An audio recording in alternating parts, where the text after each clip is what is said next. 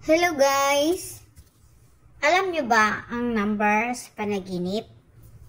Guys, napakaswerte nyo pag kayo ay nanaginip ng number. Lalo na pag madaling araw. Pag kayo'y nanaginip ng number sa madaling araw, napakaswerte nyo.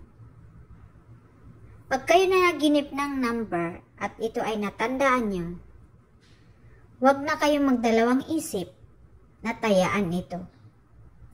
Kung kayo ay nanaginip ng number na klarong-klaro sa paningin nyo, tapos pagising nyo, umaga na, napakaswerte nyo. Tayaan nyo, nyo yan guys. Tayaan nyo. Kung kayo mahilig tumaya, tayaan nyo siya. So kung meron kayong napanaginipan na numero, pwede kayo mag-comment sa baba kung anong number ang napanaginipan mo at kailan ito. Totoo po iyan guys. As in, totoo po iyan. Pag kayo na naginip ng number, tapos paggising nyo, umaga na, totoo yan guys.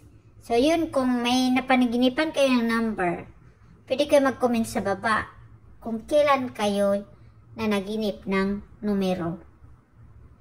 So ayun guys, Huwag niyong hayaan ang number na paniginipan niyo ay lalabas. Alam niyo na ang ibig kong sabihin.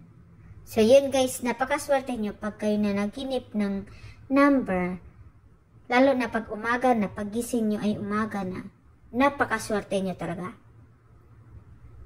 So ayun lang guys, ang share ko sa inyo tungkol sa numero sa panaginip.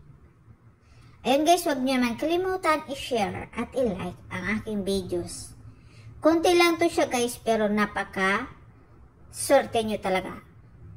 Pag kayo'y nanaginip ng numero sa madaling araw.